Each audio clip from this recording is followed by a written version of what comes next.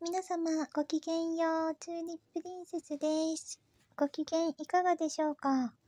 えっと、私は、えー、今ね、王子とお台場に行って戻ってきました。えっと、ゴールデンウィーク1日目は、1日目、2日目、3日目と、実に、えー、内容の濃い 3日間、修羅場でした。修羅場って言ったらあれなんですけども、そうですね、最初本当にあの、気楽に、楽しく、えー、王子とゴールデンウィークをすごく楽しみにしていたんですけれども、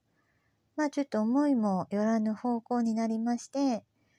えっと、うーん、結構ね、話し合いの3日間になりました。結局なんか1日目からいろいろ話し合って、それで、えっと、2日目、3日目と3日間にわたって、結構私の気持ちをいろいろ話して、まあいろいろあったんですけれども、まあ最終的に王子が、まあ私の気持ちを、まあようやく、あの本当の意味で、まあ理解した、してくれたかなっていう感触を得られて、まあ最終的に絆が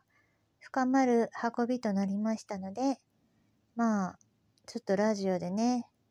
まあどこまで話していいのかなっていうのがすごく謎なんですけれども、えー、この3日間を振り返りながら、チューリップラジオ始めていきたいと思います。えっとね、ゴールデンウィークの1日目は、まあ、1日目から、あの、まあ、ちょっと問題が勃発しまして 私がそのかねてからずっとですね、あの、心の中に、まあ、溜まってたモヤモヤですね。まあ、お姑さんに関することなんですけれども、まあ、気になる方は、えっと、まあ、チューリップラジオでね、えっと、姑さんに関する記事を見ていただければなっていうふうに思うんですけれども、私が、あの、うん、春ウコンだったり、野菜スープだったり、あの、まあ、がんに効くと思われる、あの、すごい母のために一生懸命調べた情報があって、まあ、あの、母は、まあ、それをちょっと続けられない状況とかになったりして、えー、助けられなかったので、それを続けてたら、多分今頃生きてるんじゃないかなっていう後悔が私の中でずっとあったんですけども、まあ詳しくは、えっと、ちょっと前、一つ前とかの、えちょっと前の美食女ご飯の概要欄に、えっと、3つぐらいチューリップラジオ貼り付けてるので、それをまあ、あの、興味がある人は長いので大変なんですけども、聞いていただければなというふうに思います。えっとまあ、それで、えっと、その春ウコンだったりとか、えっ、と、野菜スープとかでね、あの、姑さんがもう本当に、あの、肝臓転移で、再発の肝臓転移の末期がんで、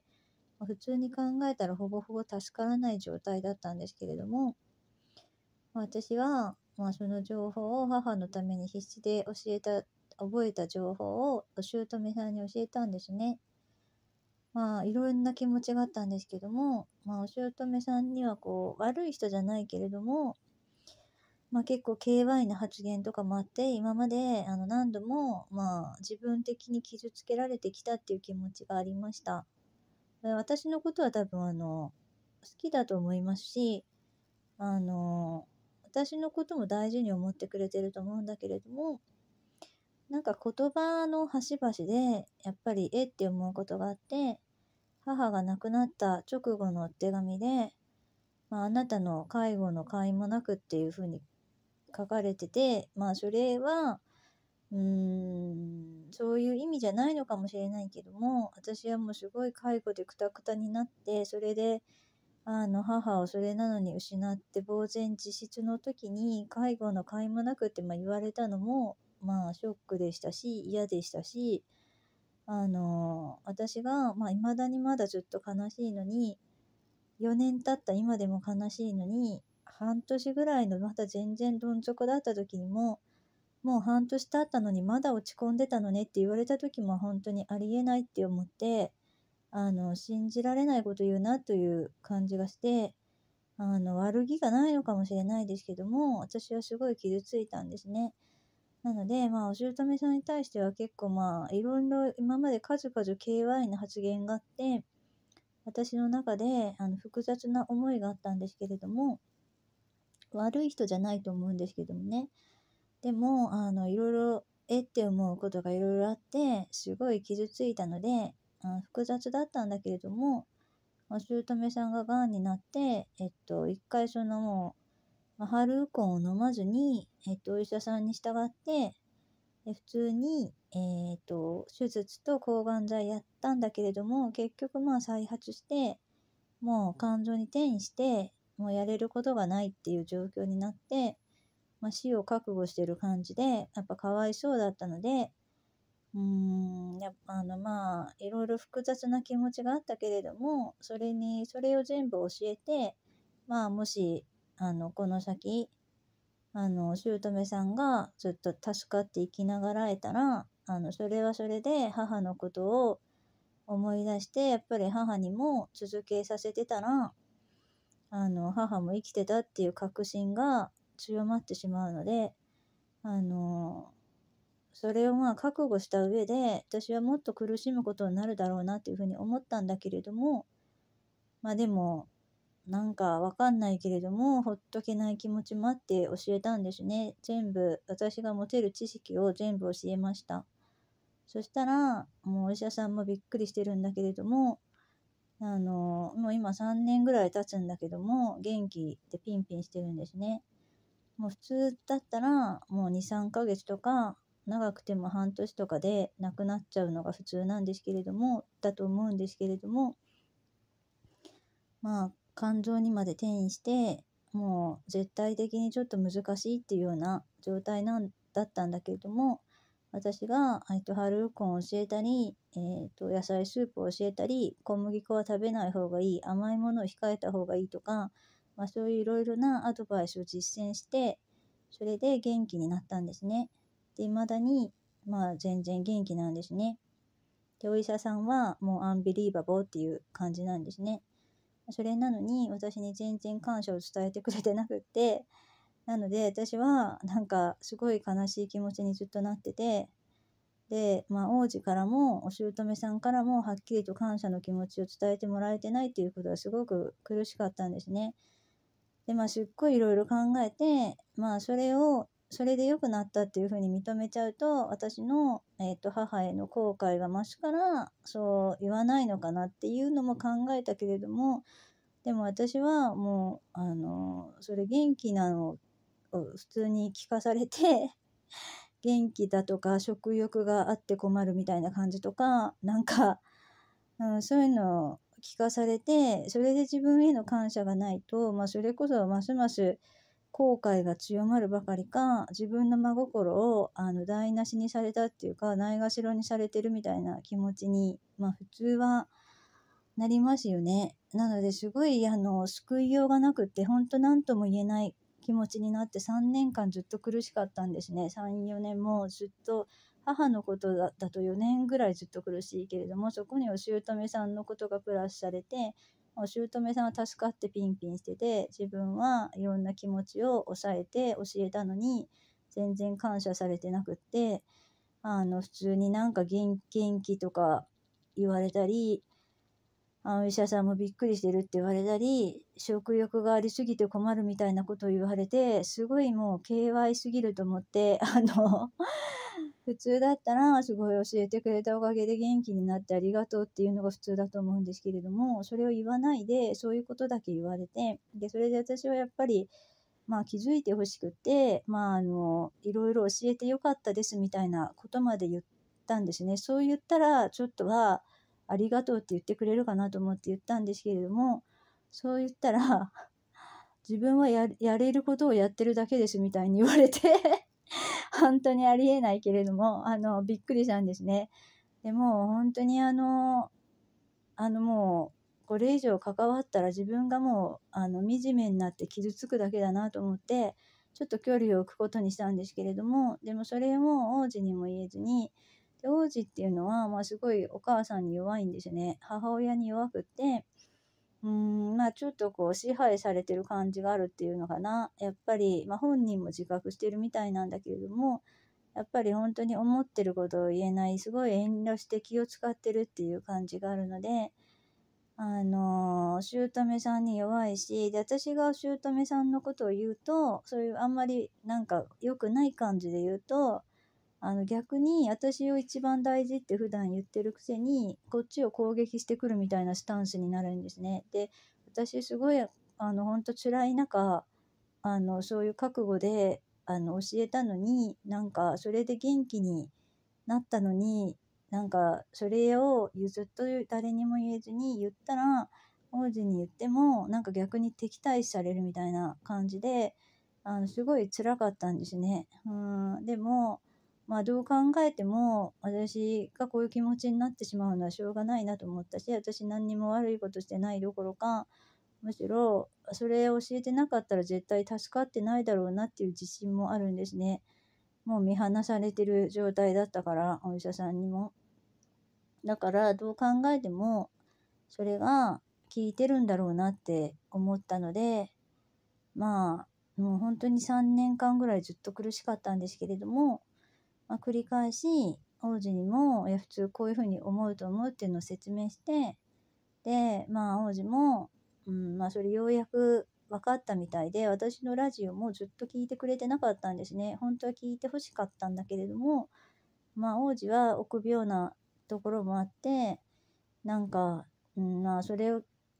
くのが怖かったのか私がお姑さんのことを悪く言ってるみたいなのを聞くのが怖かったのか、まあ、聞いてなかったみたいなんですね。で私ももちろんそんな本当は恩着せがましく言いたくないし悪くも言いたくないしあの仲良くしたいですしでもそんな風な不義理な態度をされたらしんどいですし自分の気持ちをないがしろにされたらしんどいし理解されてないと思うと悲しいですしうんやっぱりなかなかねもう何とも言えない気持ちになってやっぱりもう言わないと本当にわからないなって思ったのでまた伝えてまた一瞬気まずくなったんですけれどもで悲しかったんだけれども、まあ、最終的にあの、まあ、ラジオをまだ聞いてないっていうことだったので9ヶ月前のラジオなんですけれどもまあ春録音で、まあ、お姑さんが元気になったみたいな感じのそのラジオをその時ほんと誰にも言えなくて苦しかったのでラジオに撮ったんですけれども、まあ、それであの皆さんにも励ましてもらったり共感してもらえたりしてで宿田様にもね心に寄り添ってもらえて嬉しかったんですけどもまあでも肝心の、まあ、王子と姑さんには届いてない響いてないっていう感じだったのでまあ正直もうまだ聞いてくれてないよねって言ってまあ、聞いてほしいっていうふうにはっきり言いました。それで、まあ、ようやく9ヶ月後なんですけども、ようやく聞いてくれて、それでようやく、まあ私の気持ちが分かったみたいで、まあ王子はごめんねと謝りました。で、まあそれからもまあいろいろ話して、まあやっと本当に分かってくれたかなっていうので、まあごめんねっていうのと、まあ王子からもようやくありがとうっていうのも言ってもらえて、あの、まあ、お姑さんにも話すっていう風に言ってくれたんだけれども、まあ多分王子は、あの、私がこんなに苦しんでたっていうことまでは、まあ多分、あの、言えないだろうな、言えてないだろうなと思いました。でも謝って、謝ってじゃなくて感謝を伝えてほしいっていうことはまあ言ってくれたみたいなんだけれども、うん、私のそのまあ前後の気持ちだったりとか、しんどいこんなに苦しんでたっていうことは多分言ってくれてないだろうなとお姑さんにはあんまりこう王子は強く出れないし言えないのでと思ってたらまあ案の定言ってなかったのでまあわかんない。どうなるかわかんないけれども、もう自分で言うしかないなと 思って、まあ、3年間ずっと言えずに、まあ、王子にも言えずにしんどかったんだけれどももうねあの言うことにしてうーんまあ今日さっきかな。メールを送ったんですけどもようやくお姑さんからあのまあ、感謝してます、ありがとうって、まあ、王子が言ったからなんだけど、そういうメールが来たので、まあ、やっとまあ言ってくれたけれども、まあ多分、うん、まあ気持ちは多分伝わってないだろうなと思ったので、一応自分はそういう気持ちでいましたって、まあすごいずっと本当は苦しかったっていうことを、まあ書いて送りました。な、そのどういう返事が返ってくるかわかんないし、多分驚いてるかもしれないんですけれども、全然多分そこまで私の気持ちを考えていなかったかもしれないし、気づいてなかったと思うので、領事も伝えてないのでね。まあでも、一応、あの、正直にはっきりと伝えて、すっきりしました。っていうのが今の、えー、状況です。で、まあ、王子も、王子ともね、いろんな話しました。まあ、王子も、そうですね。やっぱり私は逆にその、母からすごく認められて育って、なので自己肯定感はあるんですけれども、その代わり依存関係にもあったんですけれども、まあ、王子もなんか過保護だったみたいなんだけれども、逆に王子はあんまり褒められてなかった。まあ、そのお母さん、王子のお母さんってあんま褒めない人なんですね。なので私もあんまり褒められたことなくって ちょっと、うん、びっくりしたっていうか、あの、私の母はすごい褒める、王子のこともめちゃめちゃ褒めるし、私のこともめちゃめちゃ褒めるしっていう感じの、ホットな感じの人なので、まあ、結構なんか温度差にびっくりっていうか、あの、あんまり褒めないし、私結婚式の時ですら褒めてもらえなかったのも びっくりしたし、それもちょっと傷つきましたしね、もうみんな、他のね、あの、私側の人とかはみんな、プリンセスちゃんかわいい、綺麗とか、お姫様みたいとか言ってくれるのに、普通結婚式の時ってかわいいとか綺麗とか言ったりしますよね。それも多分言われなかったし、ちょっとすごくなんか、うん、びっくりしちゃったんですけども、で、まあ王子もあんまり褒められたことなかったみたいで、褒められずに育っちゃったみたいなのでね。うん。なのでね、王子も、うん、私は王子素敵だと思うけれども、王子は自分にあんまり自信がない。多分自己肯定感がそんなに育ってなかったのかなっていう。まあだから、私はでもあんまり自信満々の男の人ってそんなに好きじゃなくって、あの男の人に関してはそんなに私自信満々な男の人とかちょっと鼻につく感じがあんまり好きではないので逆に魔王子のちょっと自信がないぐらいな感じとか あのなんか可愛いというかね可愛いし謙虚な感じの人が好きなので私は良かったんですけれども魔王子は、まあ、そのこともなんか悩みみたいですね。ですごいいろいろと、うん、今日もそうですね。私には話してくれて嬉しかったなと思うし、うん、だから私は、そう、それになるよって、王子のそれになるっていうふうに言いました。うん、その、私は王子を認める存在になるっていうかね、うん、そのままの王子を認める存在に私がなるっていうふうに言って、まあ王子もうん、そうですね。私をいてくれるだけでいいって、まあ、辛かった時に言ってくれたのでね、うん、お互いに、まあ、一番の味方でいいよっていうふうに、また、まあ、誓い合ったというか、今日言い合ったんですけれどもね。なので、まあ、有意義な時間を過ごせました。で、まあ、私の気持ちも本当は、あの姑さんに私が苦しんでたってことを私は伝えてほしかったし、まあ、私が逆の立場だったら、まあ、すごく母にそういうふうに伝えるだろうなと思ったけれども私と母の関係と王子とお母さんの関係ってやっぱり違うし、まあ、あの感じだったら、まあ、言えないだろうなっていうのも理解したのであのそうですね王子もいろいろやっぱり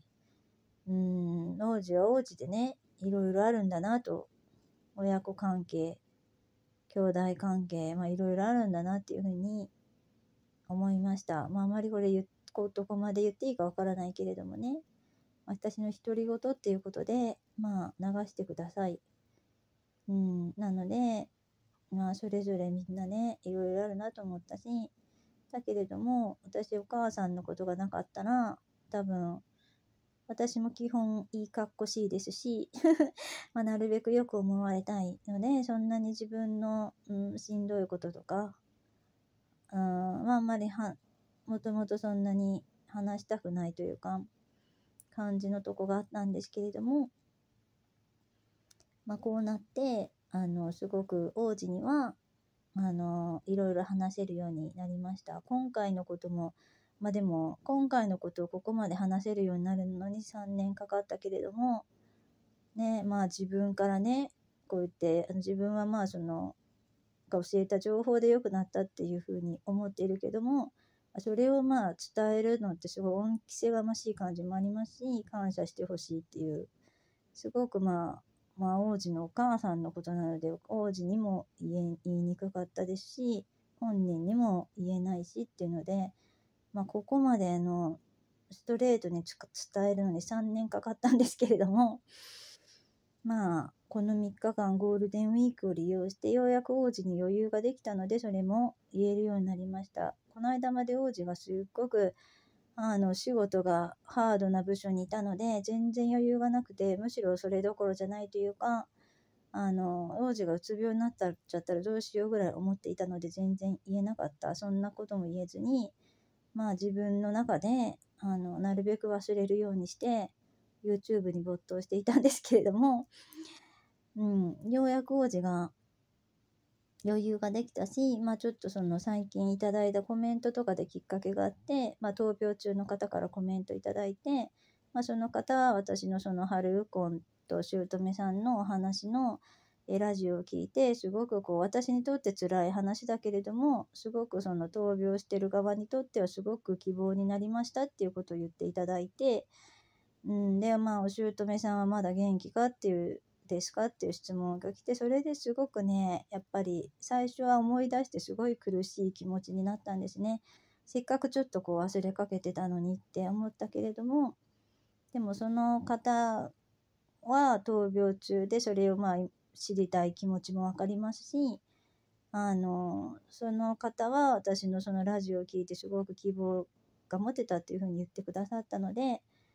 あの、お礼も伝えてくださってすごく嬉しかったのでね、うん、もちろん、あの、春ウコンとかね、あの、私がまあ発信してる美淑女ご飯とかもそうですし、良くなっていただきたいなっていうふうに思っているし、あの、これからもちょくちょくね、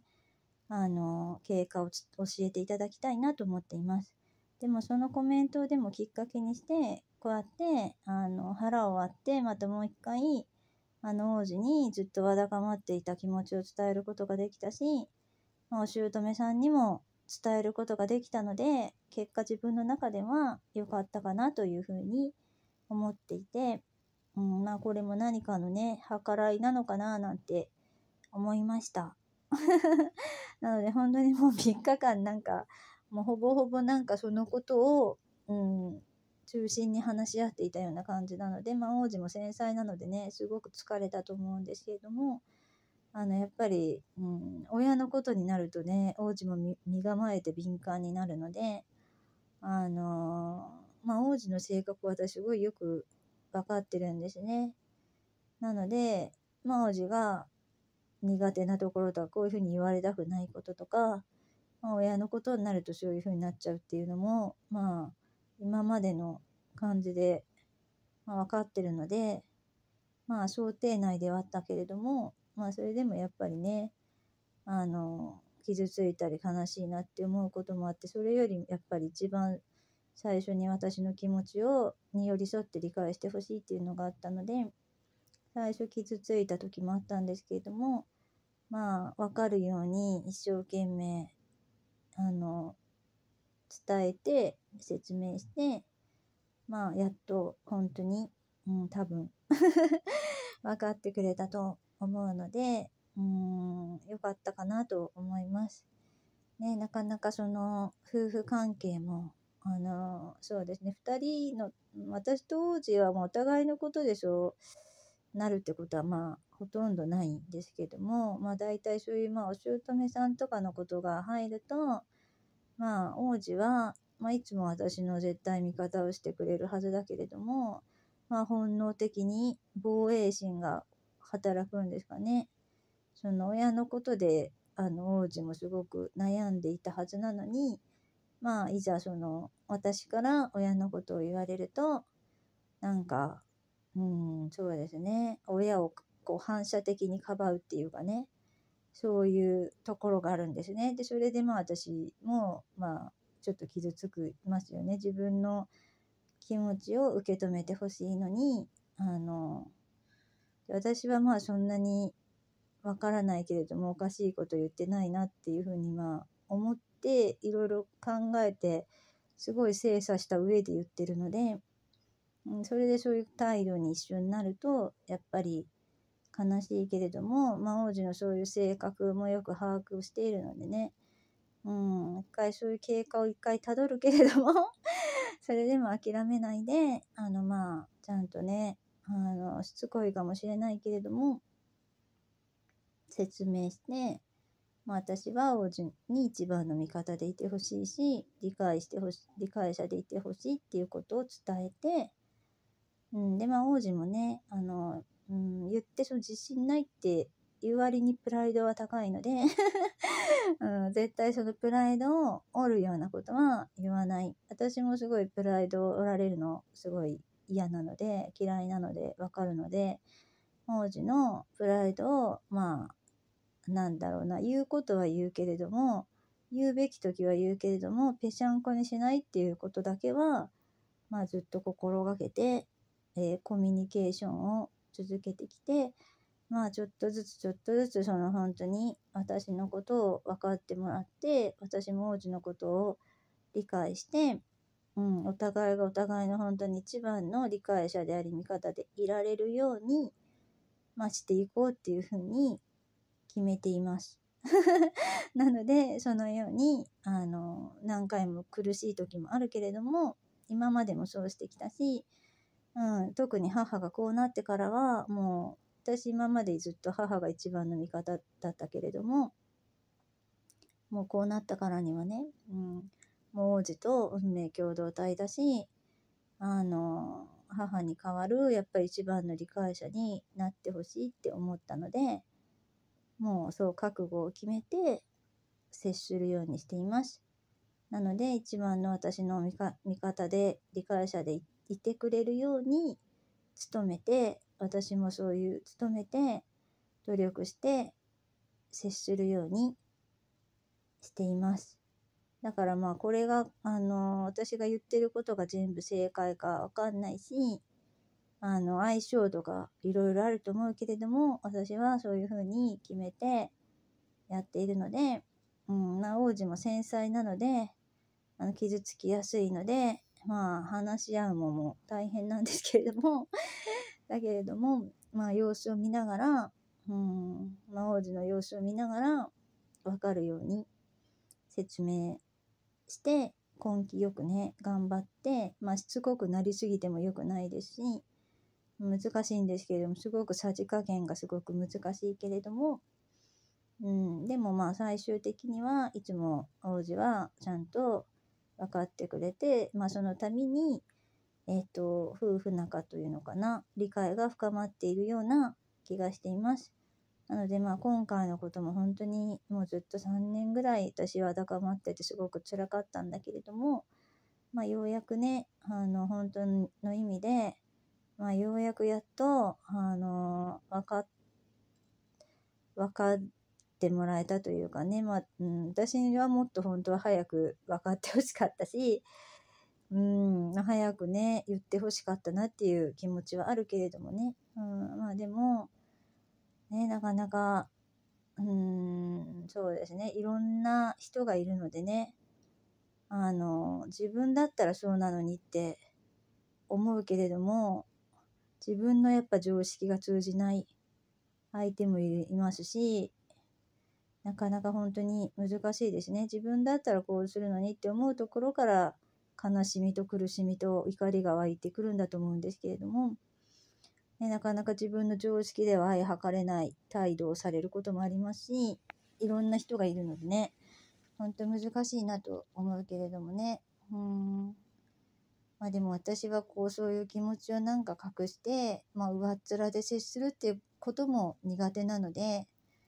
あの、うん、そうですね。うん、通じるように、円満にやっていけるように、まあ努力していきたいなと思います。そんなまあ、本当にそんな3日間、ディープな3連休でした。1日目はだから話して、あの、もうちょっとストレス溜まっちゃったので、あの、とにかくお散歩して歩いて歩いて、あの、夜は、えっと、四角いあのハンバーグ、ココスの、を、あなんか母がココス結構好きだったので、行って食べて、2日目は水族館に行きました。2日目、昨日は水族館、品川水族館っていうのがあって、あの品川からちょっと行ったところなんですけども、あの品川の有名な水族館はもう何回も母と行ったので、行ってない、もうちょっと品川から少し離れた品川水族館っていうところがあって、そこはまだ私行ったことなかったんですね。なので、あのすごくなんか行ってみたくって、でそこに王子と行きました。だからもう本当なんか話し合いを、あの、合間合間で 話し合いをしながら、あの、ちゃかちゃか出かけて楽しむっていう、本当不思議な3日間だったんですけれども、なので、大変だったと思うけれどもね。うん、まあでも楽しかったですね。で、2日はその品川水族館に行って、あの、そのなんかね、レストランみたいなのがあって、なんキーコーヒーかなんかがやってたのかな？わかんないけれども、水族館のレストランがあって、そこでね、トマトチーズのハンバーグを食べて、結構ね、まあまあ美味しいねって言って、で、食べました。で、それで、えっと、すごい久しぶりに、なんか米田コーヒーに来ました。で、それで、ちょっとチートデーでサンドイッチとエシノワール食べました。っていう感じで、うん。で、ちょっとまあチートデーみたいな感じで、チートデー、チートデー続きですね。チートデーがもう続いちゃった感じなんですけども、で、それで今日が3日目かな。今日の3日目はどうしようって言って、なんかカラオケに行こうかと思ったけど、カラオケが結構30分待ちだったのでやめて、なんか急にね、お台場に行ったんですね。で、お台場に行って、私本当はね、ちょっと行きたいショールームがあったんですけども、ちょっと招待状みたいなのが届いててね。でもなんか結局ね、あの、ちょっと話し込んじゃって、そのさっきのことでね、話し込んじゃって、まあでもすごい有意義な話し合いになったし、まあ王子もね、いろいろ心の内にあること、うん、親子関係だったり、えっ、と、兄弟関係だったり、まあ自分の自己肯定感とか自信の話だったりとかもしてくれて、なので、えっとまあ絆が深まってよかったんですけども、話し込んじゃ多分2時間ぐらい話してたのかな。そしたらショールーム終わっちゃったんですね。行こうとしたらもうショールームが終わっちゃってて、6時ぐらいで終わっちゃってて、あのもう入れなくなっちゃってね、もうびっくりして行った意味なかったんですけども、でもそれ以上に、あの有意義なね、あの、大変だったけども有意義な話し合いができて王子と絆絆が深まったのでね良かったかなと思います。なのでまあいっかって言ってでそれでなんか適当にね、うん、これまた適当になんかアクアシティの中のなんかなんか焼き鳥のなんか焼き鳥のお膳かなんか照り焼きチキンとか焼き鳥丼とかが食べれるようなところまあまあまあだったんですけども そこにあのもうもうどこでもいいやと思っても入ってそれ食べてでまたそこでもねいろいろその続きっていうかまあ王子の心のないろんなその自分の悩んでること根本的に悩んでることとかまあいろいろまあ話してくれてそれを聞いていてまあでも私はね味方で言うよっていうことを言って、うんまあ、お互いにねまあいろいろこう確認し合って、まあ、よかったなっていう感じですね。でそれからえーっとそれでスタバでお茶しようとしたんですけどもなんか王子が急に寒気がするって言い出して、まあ、王子やっぱりねすごいデリケートなのでねこの3日間の話し合いで疲れたんだと思いますね。寒気がするって言ってね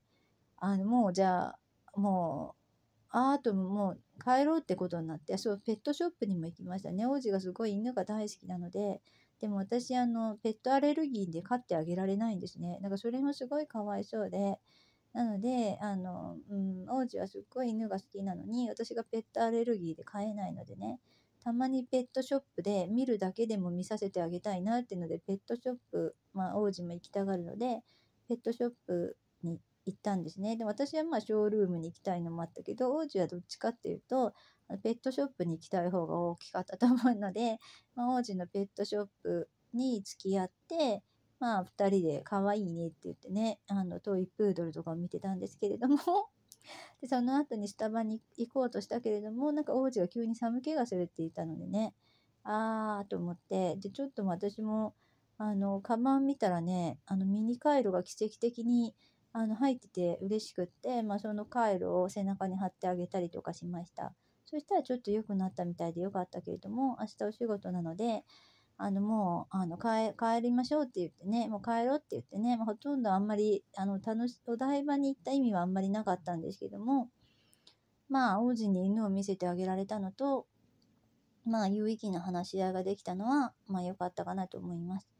も、お台場はその最初にお付き合いすることになった、まあ、思い出の場所でもあるのでね、まあ、それはそれで、まあ、その、あの、思い出に浸る余裕はなかったけれども、まあ、良かったかなと思います。それで帰ってきて、ちょっと一息ついて、ラジオを撮っていますっていう流れです。で、そういう本当なんかディープな3日間でした。ね私もいろいろ人知れず、すごいずっとしんどかったり悩んでたこともあったんですけども、うん、でもまあほんとしんどい時とか、あのね、納得いかないこととか辛いこととかは、もうラジオでね、あの、話してねっていう風に、あの、美淑女様やファンの方からも言っていただいたので、まあ、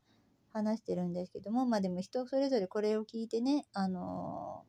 受け取り方もいろいろだと思いますし、様々な感想があると思うし、私も100%あの自分が正しいこと言ってるっていうつもりもなく、まあ、率直なあの自分の気持ちを整理するためにも話してるし、まあ、言ってこれ人が聞いてしまうので、うん、どこまで話していいのかっていうのもあるし、まあ、その王子もどこまで話されていいのかっていうのもね、王子の気持ちとかもあるので、あの、わかんないけれども、うん、とりあえず、まあちょっと話せる範囲でね、話してるような感じなので、まあこれ聞いてても別にみんな無理にね、なんか言おうと思わなくても 全然大丈夫なので、まあ独り言ではあるのでね、あの、そんなにね、あの、まあなんか、あの、うん、私が傷つかないことであれば、あの、言ってください。でも私がちょっとまあ傷つく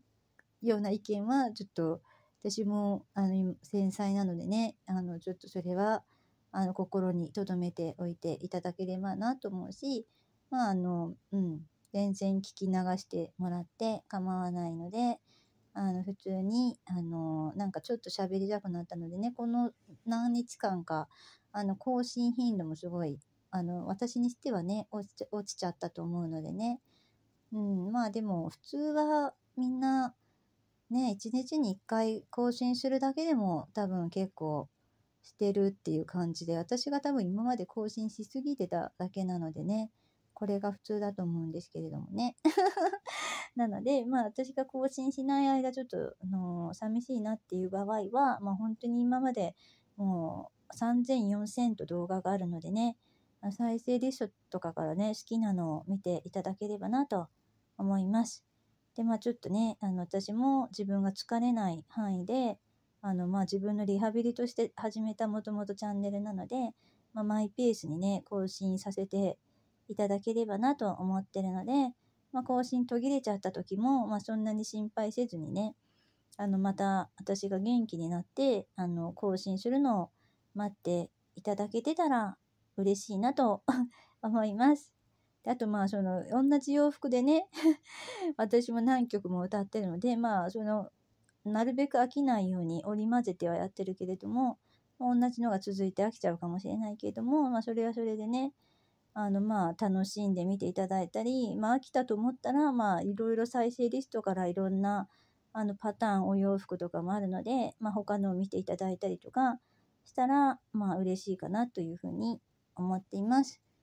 はい、えー、ではもう私のその独断と偏見でこれを話してる、もう私の気持ちで話してるラジオなのでね、まあ気楽に聞いてもらえればなというふうに思うんですけれども、ちょっとね、あの、話したいなっていうのもあったし、まあ私にしては更新が滞ってる感じもあったので、まあちょっと今日は、えーチューリップラジオを撮ってみました。そんな感じで、まあその時その時で正直に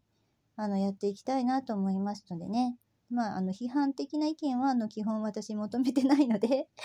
あの、うん、あの励ましてくれる意見とか嬉しくなるあのコメントはいつでもお待ちしていますということでどうぞよろしくお願いいたします。えそれでは、えっと、明日からは皆さんまだお休みなのかな？わかんないけれども王子はね明日お仕事なんですね。なので、まあ、飛び飛びな感じの連休にはなると思うんですけれども、あのまあ、いろいろあるけれども、仲良くやっていきたいなと思います。それでは、ここまで聞いてくださった皆さん、どうもありがとうございました。えー私のチューリッププリンセスの独り言でした。えーと、お相手はチューリッププリンセスでした。ありがとうございました。おやすみなさい。バイバーイ。